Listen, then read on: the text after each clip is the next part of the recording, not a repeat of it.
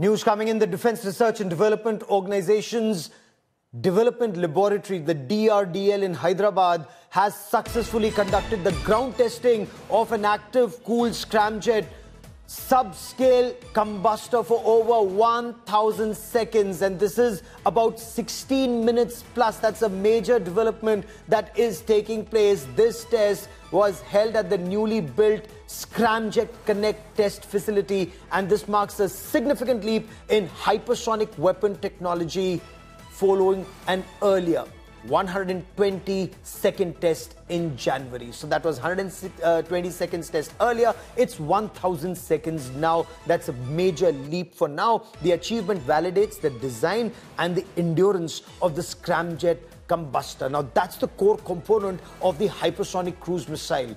And why is this so significant? Because we all know supersonic fighters uh, that fly faster than the, uh, the, sound, the speed of sound when you talk about hypersonic, that's actually five times, more than five times the speed of sound. That's almost like more than 6,100 kilometers per hour. And that's significant in new generation, new age warfare. So there is no interceptor that can stop a hypersonic missile that's coming your way because it will come in so rapidly, so swiftly. Now, these missiles, they actually rely on air breathing engines with supersonic combustion for long duration flights. And the, and the distances that they travel and in quick time. So this success, we are told, is a result of those collaborative efforts between the Defense Research and Development Organization, the industry, and universities that are working with the Defense Research and Development Organization, uh, and that's extremely significant. So this lays the foundation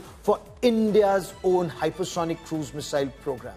Defense Minister Rajnath Singh praised achievements of this and he said it's a testament to the government's commitment to advanced defense technologies. DRDO Chairman Dr. Samir Kamath, he's congratulated the DRDL team led by uh, Shri U, U Raja Babu and Dr. G.A. Srinivas Murthy for demonstrating this technological feat. And I quickly want to cut across to India Today's Manjeet Singh Negi joining us for more on this. Manjeet, when you talk about Atmanirbhar Bharat, the big effort, uh, you know, when the country talks about Atmanirbhar Bharat, the big effort is to make cutting edge technology that's not available uh, either off the shelf or other countries are unwilling to give it to you. And this is where this test of a missile that one day will fly um, more at Mach 5, more than 6,100 kilometers per hour, becomes extremely significant, Manjeet. Well, Gaurav, day before yesterday, Pakistan has announced that uh, they will uh, conduct a surface-to-surface air missile test in Arabian Sea. But before that, uh, India has uh, uh, first time carried out a successful ground test of scramjet engine, and an air-breathing engine capable to sustaining combustion during the supersonic flight. And this crucial milestone in developing next generation hypersonic missile that can travel speed of more than Mach 5 uh, five times uh, the speed of, the sound. And uh, the, these advanced weapon hypersonic missile have the potential to bypass the existing air, air, defense system in Pakistan and, and, and, and China to deliver rapid and high impact strike.